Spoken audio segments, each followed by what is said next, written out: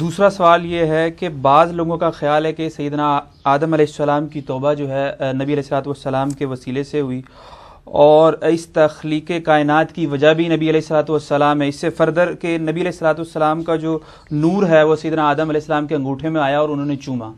تو وہی جو حدیث ہے نا حاکم کی، اس میں موجود ہے کہ نبی علیہ السلام کے وسیلے سے آدم علیہ السلام کی توبہ قبول ہوئی اور اس میں آگے ہے کہ پھر آدم علیہ السلام پوچھتے ہیں، یا اللہ یہ محمد کون ہے؟ تو اللہ تعالیٰ فرماتا ہے کہ اگر میں محمد کو نہ پیدا کرتا تو کائنات کی کسی چیز کو پیدا نہ کرتا۔ یہ سارے الفاظ اسی ایک روایت کے اندر ہیں۔ وہ روایت اصول محدثین کے اندر ضعیف ہے۔ کیونکہ قصہ آدم اور ابلیس قرآن حکیم میں سات دفعہ آیا ہے۔ اگر آدم علیہ السلام کی توبہ کا یہ واقعہ ہوتا تو قرآن پاک میں منوان اس طریقے سے آتا۔ سات دفعہ اللہ تعالیٰ ناؤز باللہ بھول گیا کہ بتانا کہ یہ بیچ میں الٹا دعا بھی آئی ربنا ظلمنا انفسنا۔ اور پورا سورت العراف میں ڈیٹیل آئی سورت البقرہ کے اندر، سورہ سعد کے اندر، سورہ بنی اسرائیل کے اندر سورت القاف کے اندر۔ کہیں پہ بھی یہ بات ڈسکس نہیں سوال کیا گیا کہ آقا کریم علیہ السلاۃ السلام کو تمام اہل سنت وجہ کائنات کہتے ہیں۔ وجہ کائنات کا مطلب کہ ساری کائنات جو ہے نبی کریم صلی اللہ علیہ وسلم کے توسل سے بنی، آپ کے وسیلے سے بنی، آپ کے لیے بنائی گئی۔ یہ وجہ کائنات کا مطلب ہے۔ تو سوشل میڈیا پہ ایک اسکالر ہیں، انہوں نے اس پر اعتراض کیا کہ وجہ کائنات نبی کریم صلی اللہ علیہ وسلم نہیں ہیں۔ اور اگر وہ وجہ کائنات ہوتے تو پھر قرآن پاک میں آدم علیہ السلام کے قصے کو کئی بار بیان کیا گیا۔ تو اس میں یہ بیان کیوں نہیں کیا گیا کہ نبی کریم صلی اللہ علیہ وسلم کی وجہ سے یہ کائنات پیدا کی گئی؟ دوسرا، حاکم کی، امام حاکم کی جو کتاب کی روایت ہے وہ بڑی ضعیف روایت ہے اور موضوع ہے۔ امام زہبی کا اس پر اعتراض ہے، لہٰذا اس سے ہم یہ ثابت نہیں کر سکتے کہ نبی کریم صلی اللہ علیہ وسلم وجہ کائنات ہے تو میں اس حوالے سے ذرا تفصیلی اس کا جواب دینا چاہتا ہوں تاکہ یہ بات واضح ہو جائے کہ آقا کریم علیہ السلاۃ السلام کا وجہ کائنات ہونا کہاں سے ثابت ہے؟ پہلی بات، حاکم کی جو روایت بیان کی گئی، امام حاکم کی کتاب ہے المستدرک۔ المستدرک کتاب بہت اتھینٹک ہے کیونکہ امام حاکم اس کتاب کے اندر وہ روایات لے کر آئے ہیں جو امام بخاری اور امام مسلم کے نزدیک ان کی شرائط کے مطابق بالکل صحیح ہیں۔ لیکن امام بخاری اور امام مسلم نے اپنی کتاب کے اندر اس میں کسی وجہ سے یا وہ درج نہیں کر سکے۔ امام حاکم نے المستدرک نامی کی کتاب لکھی اور انہی کی شرائط کے مطابق وہ ساری احادیث روایت کر کے اپنی کتاب میں درج فرمائی یعنی ویری اتھینٹک کتاب ہے، معتبر کتاب ہے۔ اس میں جو روایت بیان ہوئی اس کا حوالہ دیا اسکالر نے، وہ صرف ایک ہی روایت نہیں ہے۔ جس پر اعتراض ہے، جس میں ایک عبد الرحمن نامی ایک راوی ہے، وہ، وہی صرف روایت نہیں، حاکم کے اندر دو روایات ایسی ہیں جو بڑی قوی سند ہیں، جس میں آقا کریم علیہ السلاۃ السلام کو وجہ کائنات ہونا بیان کیا گیا ہے۔ وہ پہلی روایت جس روایت میں کوئی اعتراض نہیں، امام زاہبی کی بھی اس پہ تنقید نہیں ہے، وہ روایت میں آپ کو پیش کرنا چاہتا ہوں اسی کتاب سے، اور یہ وہ روایت ہے جو ایک روایت اس سے پہلی ہے۔ لہذا کسی بھی علم والے بندے کو محقق کو نہیں چاہیے کہ وہ اس طرح کی خیانت کرے کہ جو روایت پر اعتراض ہے اس کو چھوڑ دے اس کو بیان کرے اور جس پہ کوئی اعتراض نہیں ہے، اس کو چھوڑ دے تاکہ عوام کے سامنے بالکل کلیئر پکچر نہ آ سکے۔ یہ بالکل غلط ہے۔ اگر کسی نے یہ خیانت کی ہے تو میں اس کو واضح کرنا چاہتا ہوں، وہ روایت بھی سنانا چاہتا ہوں، جس میں میرے آقا کریم علیہ السلاۃ السلام کے حوالے سے بیان ہوا کہ آپ وجہ کائنات ہیں، کائنات آپ کی وجہ سے پیدا کی گئی۔ وہ روایت یہ ہے حضرت عبداللہ بن عباس رضی اللہ تعالیٰ عنہ اس حدیث کے راوی ہیں کہ آقا کریم علیہ السلام نے فرمایا اوحى الله الى عيسى عليه السلام يا عيسى آمين بمحمد وأمر من أدركه من أمتك أن يؤمنوا به فلولا محمد ما خلقت آدم ولولا محمد ما خلقت الجنة ولا اللہ تعالیٰ نے عیسیٰ علیہ السلام کی طرف وحی کی اور کہا اور فرمایا، اے عیسیٰ محمد مصطفیٰ صلی اللہ علیہ وسلم پر ایمان لائیے اور حکم دیجیے اپنی امت کو جو ان کا زمانہ پائیں کہ وہ ان پر ایمان لائیں، ان پر ایمان لائیں۔ پھر فرمایا، اگر محمد نہ ہوتے صلی اللہ علیہ وسلم تو میں آدم علیہ السلام کو بھی پیدا نہ کرتا اور اگر محمد نہ ہوتے تو میں جنت کو بھی پیدا نہ کرتا اور دوزخ کو بھی پیدا نہ کرتا۔ یہ بڑی قوی اس سند ہے اور اور امام حاکم رحمۃ اللہ تعالی علیہ اپنی مستدرک میں اس روایت کو لکھنے کے بعد اس کی قوت کو بیان کرتے ہیں۔ وہ کیسے بیان کرتے ہیں؟ کہتے ہیں حاضہ حدیث صحیح الاسناد ولم یخرجاہو یہ حدیث صحیح سند کے ساتھ ہے اور اس کی سند بڑی قوی ہے، لیکن امام بخاری اور امام مسلم جو ہے انہوں نے اپنی ایک کتاب کے اندر اس کو درج نہیں فرمایا، لیکن یہ انہی کے شرائط کے مطابق صحیح اس سند ہے۔ یہ امام حاکم جو بہت بڑے محدث ہیں، جنہوں نے المستدرک لکھی ہے اور کتب لکھی ہیں، انہوں نے اس کے حوالے سے گواہی دی۔ پھر اس میں واضح طور پر بیان ہوا کہ اگر محمد مصطفیٰ صلی اللہ علیہ وسلم نہ ہوتے تو میں آدم علیہ السلام کو پیدا نہ کرتا اور میں جنت کو پیدا نہ کرتا اور دوزخ کو پیدا نہ کرتا۔ اور آپ کو پتہ ہے، تمام انسانیت کے اصل کون ہیں؟ حضرت آدم علیہ السلام ہیں۔ تو انسانیت کی اصل کہہ کے کنایا کیا گیا کہ پوری انسانیت کو ہی پیدا نہ کرتا۔ اور دوسری بات کہ جنت اور دوزخ مین چیزیں ہیں اخروی حوالے سے۔ انسانیت کا دنیا سے تعلق ہے یعنی پوری دنیا کو پیدا نہ کرتا۔ اور مین چیزیں آخرت کی جنت اور دوزخ ہے ان سے کنایا پوری اخروی دنیا کو لیا ہے۔ یعنی میں ان چیزوں کو پیدا نہ کرتا جو مین چیزیں ہیں، تو لہذا جو ان پہ ڈیپینڈنٹ چیزیں ہیں، تو پتہ چلا پوری کائنات کو پیدا نہ کرتا۔ تو مانوی طور پہ اس کا معنی یہ ہے کہ پوری کائنات کو پیدا نہ کرتا، اگر محمد مصطفیٰ صلی اللہ علیہ وسلم کو پیدا نہ کرتا، پتہ چلا وجہ کائنات وہ آقا کریم علیہ السلام کی ذات والا صفات ہے۔ تو اب یہ حدیث کی قوت بھی میں نے بیان کر دی۔ اس کے علاوہ دوسری روایت، اسی مستدرک میں جس عالم نے یہ کہا کہ اس میں صرف ایک روایت ہے اور وہ ضعیف ہے، وہ بڑی بڑی خیانت کر رہے ہیں اور اسی مستدرک میں دوسری روایت امام حاکم کی، وہ روایت صرف امام حاکم نے بیان نہیں کی، بلکہ وہ جلیل القدر آئمہ محدثین نے اسے اپنی کتابوں کے اندر زینت بخشی ہے۔ اپنی کتابوں کو، اس روایت کو درج کر کے زینت بخشی ہے۔ وہ کون کون سے محدثین ہیں؟ امام بہکی، جن کا محدثین میں بڑا نام ہے۔ انہوں نے اپنی کتاب کے اندر اس کو تحریر فرمایا۔ امام تبرانی نے اپنی کتاب میں اس کو تحریر فرمایا۔ امام آجری نے اپنی کتاب میں اس کو تحریر فرمایا۔ امام ابو نعیم نے اپنی کتاب میں اس کو تحریر فرمایا۔ علامہ ابن اساکر نے اپنی کتاب میں اس کو تحریر فرمایا اور یہ سارے بڑے بڑے محدثین جو ہیں اس روایت پر متفق ہیں اتفاق کرتے ہیں۔ وہ روایت کون سی ہے؟ جس کو امام حاکم نے لکھا ہے۔ اور وہ روایت یہی ہے وہ حضرت آدم علیہ السلام کے توبہ کا قصہ۔ جس کو حضرت عمر رضی اللہ تعالیٰ نے روایت کیا کہ جب حضرت آدم علیہ السلام سے ایک لغزش سرزد ہوئی انہوں نے کہا یا ربی اسألو بھی حق محمد اے, اے میرے رب میں محمد مصطفیٰ صلی اللہ علیہ وسلم کے توسل سے یہ سوال کرتا ہوں کہ میری مغفرت کر دی جائے۔ تو اللہ تعالیٰ عز و جل نے ارشاد فرمایا، اے آدم کئی فارفتہ محمد ولم اخلق ہوں میں نے تو ابھی تک اس کو پیدا نہیں کیا، تو پھر آپ نے محمد مصطفیٰ صلی اللہ علیہ وسلم کو کیسے پہچانا؟ تو آدم علیہ السلام نے عرض کی، یا اللہ، جب تو نے میرے اندر روح پھونکی اور میں نے عرش کے پاؤں پر، قوائم عرش پر لکھا ہوا دیکھا کہ لا الہ الا اللہ، محمد الرسول اللہ لکھا ہوا تھا، تو میں نے سمجھ لیا کہ تو نے اپنے نام کے ساتھ اسی کا نام ملایا ہے کہ جو تیرے نزدیک سب سے بڑا محبوب بندہ ہے۔ تو لہذا میں اسی کے حق سے سوال کرتا ہوں۔ قال اللہ تعالی اللہ تعالی عز و جل نے ارشاد فرمایا، صدقت یا آدم، اے آدم، تو نے سچ کہا انہو لأحب الخلق الی ادعنی بحقی اے آدم علیہ السلام، وہ ساری مخلوق سے سب سے زیادہ مجھے محبوب ہے، اس کے حق سے، اس کے توسل سے تم دعا کرو. قد غفرت لک، میں تجھے بخش دوں گا. ولولا محمد ما خلقتک، اگر محمد مصطفیٰ صلی اللہ علیہ وسلم نہ ہوتے، تو میں تجھے بھی پیدا نہ کرتا. یعنی پوری کائنات کو نہ بنا پیدا کرتا. تو یہ روایت کہاں کہاں موجود ہے؟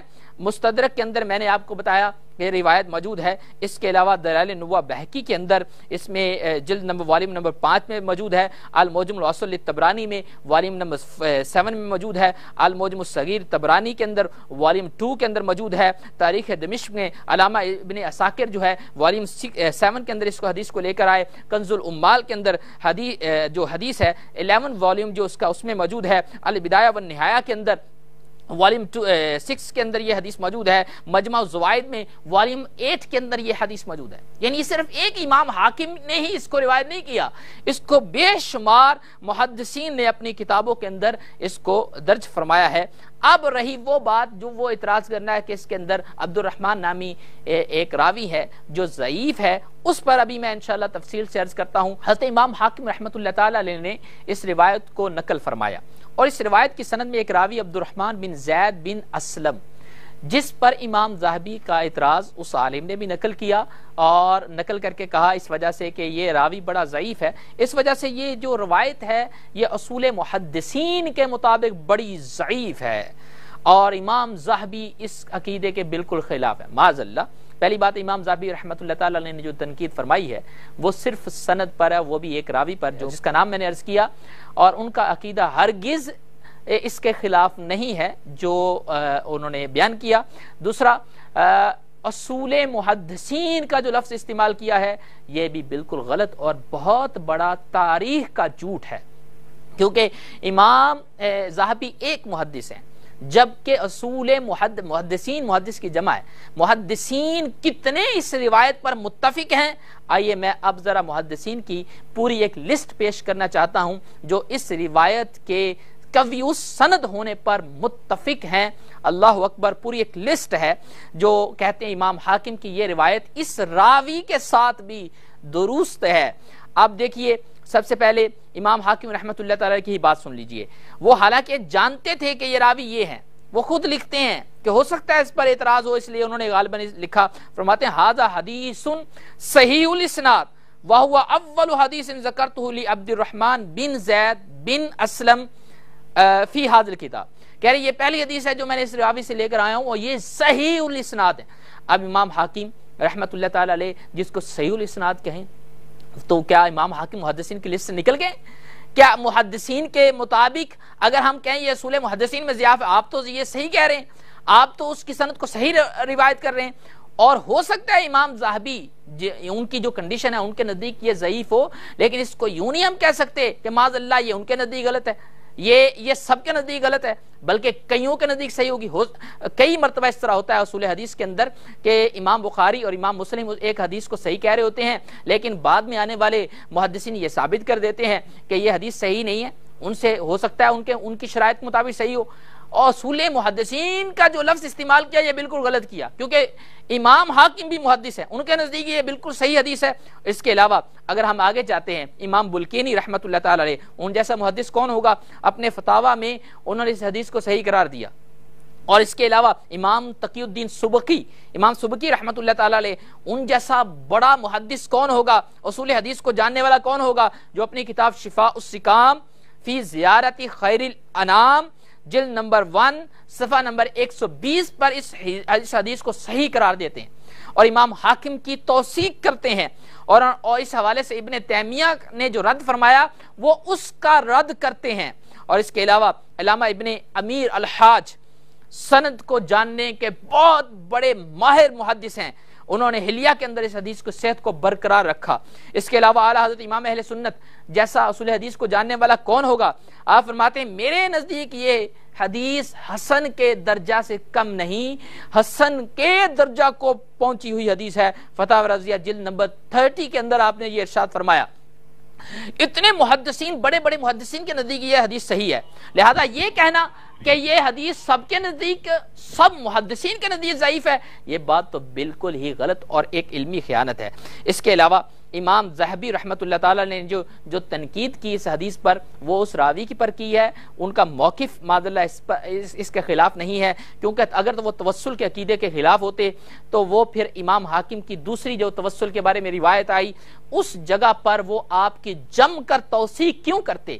وہ اس جگہ پر بالکل وہ سیم روایت جو حضرت عثمان ابن حنیف والی روایت ہے جو توسل پر بہت بڑی دلیل ہے وسیلے پر بہت بڑی دلیل ہے اس کی توثیق امام زہبی کرتے ہیں۔ پتہ چلا امام زہبی رحمت اللہ تعالیٰ علیہ کو عقیدے میں اس عقیدے پر یا اس موقع پر اعتراض نہیں، ان کو پرابلم صرف سند کے اعتبار سے تھی اور وہ سند کے اعتبار سے ان کے نزدیک اس میں ذوف ہے۔ ادروائز یہ اور دیگر محدثین کے نزدیک بالکل صحیح ہے۔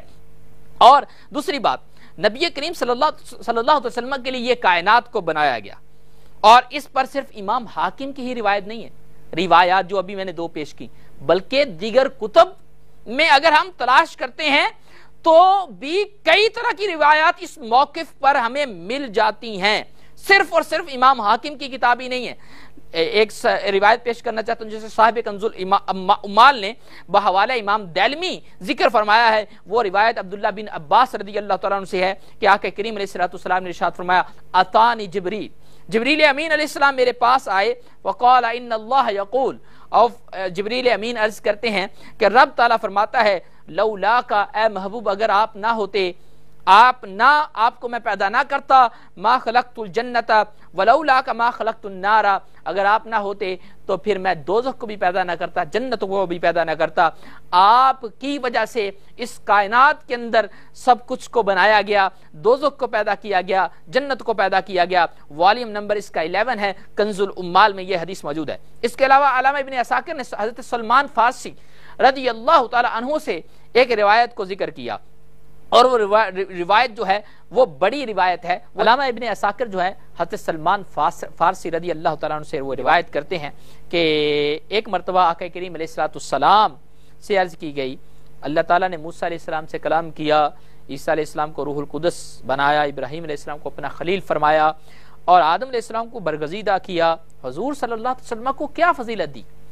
آپ سے سوال کیا فوراً جبریل امین علیہ السلام نازل ہوئے اور عرض کی حضور کا رب ارشاد فرماتا ہے۔ یعنی آقا کریم علیہ السلام کو جب یہ سوال کیا گیا تو حضرت جبریل امین علیہ السلام نے اس کا جواب دیا آگر کہ حضور کا رب یعنی آپ کا رب ارشاد فرماتا ہے کہ اگر میں نے ابراہیم کو خلیل بنایا، تمہیں حبیب کیا، اگر موسیٰ سے زمین میں کلام فرمایا، تو تمہیں آسمان پہ تم سے کلام کیا، حضرت عیسیٰ علیہ السلام کو روح القدس بنایا، تو تمہارا نام تمام خلق سے دو ہزار پہلے پیدا کیا۔ بے شک تمہارے قدم آسمان میں وہاں پہنچے جہاں نہ تم سے پہلے کوئی گیا، نہ تمہارے بعد کسی کو رسائی ہے۔ اگر میں نے آدم علیہ السلام کو برگزیدہ کیا تو تمہیں ختم الانبیاء، تمام نبیوں کا آخری نبی بنا کر بھیجا۔ سبحان اللہ۔ اور تم سے زیادہ عزت و کرامت والا کسی کو نہ بنایا۔ اور میرے عرش کا سایہ تم پر ہوگا، حمد کا تاج تمہارے سر پر راستہ ہوگا۔ پھر فرمایا، وَقَرَّنْتُ اسْمَ مَا اسْمِي میں نے اپنا نام تمہارے نام کے ساتھ ملایا۔ فلا اذکروا فی موضعین حتی تذکروا معیا فرمایا، جہاں کہیں بھی مجھے ذکر کیا جائے گا، وہاں اے محبوب تجھے بھی ذکر کیا جائے گا۔ اس کا مفہوم یہ ہے۔ وَلَقَدْ خَلَقْتُ الدُّنْيَا وَأَهْلَهَا لِأُعَرِّفَهُمْ كَرَامَتَكْ وَمَنزَلَتَكْ اِنْدِي میں نے دنیا کو پیدا کیا، اس کے سارے دنیا والوں کو پیدا کیا تاکہ میں ان کو پہچان کراؤں کہ تیری عزت کتنی ہے، تیرا مرتبہ کتنا ہے میرے نزدیک۔ وَلَوْلَاكَ مَا خَلَقْتُ الدُّنْيَا۔ اور اگر میں تجھے نہ بناتا تو میں پوری دنیا کو بھی پیدا نہ کرتا۔ یہ ہے آقا کریم علیہ السلام کے وجہ کائنات ہونے کی حدیث۔ کہ آقا کریم علیہ السلام کو فرمایا، میں دنیا کو پیدا نہ کرتا۔ اگر میں تجھے نہ بناتا، آپ وجہ ہیں۔ تاریخ دمشق، علامہ ابن اساکر اس کے اندر اس کو حدیث کو روایت کرتے ہیں۔ والم اس کا تھری ہے اور صفحہ نمبر دو سو چھیانوے ہے۔ اس روایت کا ایک بڑی طویل روایت ہے۔ ان تمام روایات سے ثابت ہوا کہ آقا کریم علیہ السلام وجہ کائنات ہیں اور آپ کی وجہ سے اس کائنات کو بنایا گیا۔ پھر یہ آقا کریم علیہ السلام کی یہ فضیلت بیان کرتی ہیں حدیث اور اصول محدثین یہ ہے، محدثین کا اصول یہ ہے کہ اگر فضیلت میں ضعیف حدیثیں بھی آئیں تو وہ بھی مقبول ہوتی ہیں، اس سے بھی وہ چیز ثابت ہو سکتی ہے۔ لیکن یہ احادیث تو جید احادیث ہیں، معتبر ہیں۔ مقبول ہیں، حسن اور صحیح درجے کی ہیں، کبھی سند ہیں۔ تو پھر یہ کیوں کرنا قبول ہوں گی؟ پھر ایک اور رسول بیان کر دوں۔ جس حدیث کو امت قبول کر لے، وہ حدیث ضعیف بھی ہو تو اس کے اندر اور قوت آ جاتی ہے، اسے تلقی کہتے ہیں، تلقی۔ تلقی امت جس حدیث کے اندر پایا جائے یعنی امت قبول کر لے، علماء عاملین کا اس پر عمل ہو، وہ اس کو بیان کرتے ہوں مشائق بیان کرتے ہیں اس کے اندر اور پاور آ جاتی ہے، وہ اور کبھی سند ہو جاتی ہے۔ اور چوتھی بات آخر میں عرض کرنا چاہوں گا، یہ اعتراض کرنا کہ یہ واقعہ قرآن میں موجود کیوں نہیں ہے۔ اگر یہ اتنا امپورٹنٹ واقعہ ہے، کائنات کی ریزن بیان کی جا رہی ہے، تو پھر قرآن کے اندر کیوں موجود نہیں ہے؟ کائنات کی ریزن کو قرآن میں ہونا چاہیے۔ تو میں یہ کہوں گا، یہ بہت ایک جاہلانہ اعتراض ہے۔ اتنا جاہلانہ اعتراض ہے کہ وہ ایسے محقق کے منہ سے سجتا ہی نہیں، مناسب ہی نہیں، کیونکہ نماز کا، نماز کس قدر اہم ہے؟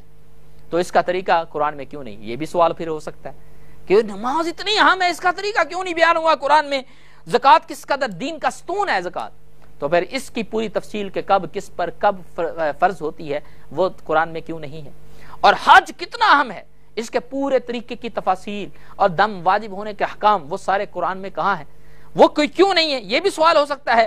لہذا کسی چیز کا قرآن میں نہ ہونا، اس کا یہ مطلب ہرگز نہیں ہے معذ اللہ کہ وہ موجود ہی نہیں ہے۔ ایک قاعدہ کلیہ ہے کہ عدم ذکر ذکر عدم نہیں۔ یعنی جس چیز کا ذکر نہ ہو، اس کا مطلب یہ نہیں کہ وہ چیز موجود ہی نہیں، وہ موجود ہے۔ تو لہذا ضروری ہے کہ ہم وہ عقیدہ وہ رکھیں جو احادیث کے مطابق ہے۔ اور پھر میرے آقا کریم علیہ السلام کی حدیث کو ماننا، آپ پر عمل کرنا آپ کے فرمان کو ماننا جو ثابت شدہ ہے، وہ اسی طرح ضروری ہے، جس طرح قرآن کے حکام کو ماننا ضروری ہے۔ کیونکہ آپ کے فرمان کی تصدیق اللہ نے قرآن میں فرمائی، وما ينطق عن الهوى ان هو الا وحی یوحى یہ محبوب اپنی خواہش سے کچھ نہیں کہتے، بلکہ جو کہتے ہیں وہی قرآن کہتے ہیں۔ سبحان اللہ۔ لہذا آقا کریم علیہ السلام سے یہ بات ثابت ہے، فرمان سے ثابت ہے کہ آقا کریم علیہ السلام کی وجہ سے یہ کائنات کو بنایا گیا، زمین و آسمان کو بنایا گیا اور جنت و دوزخ کو آپ کی وجہ سے پیدا کیا۔ اس لیے آپ وجہ کائنات ہیں۔ یہی اہل سنت کا عقیدہ ہے، یہی امت کا عقیدہ رہا، مشائق کا عقیدہ رہا۔ ہمیں چاہیے کہ اسی عقیدے پر ہم ثابت رہیں اور اللہ تعالیٰ عز و جل ہمارا حشر اچھوں کے ساتھ کریں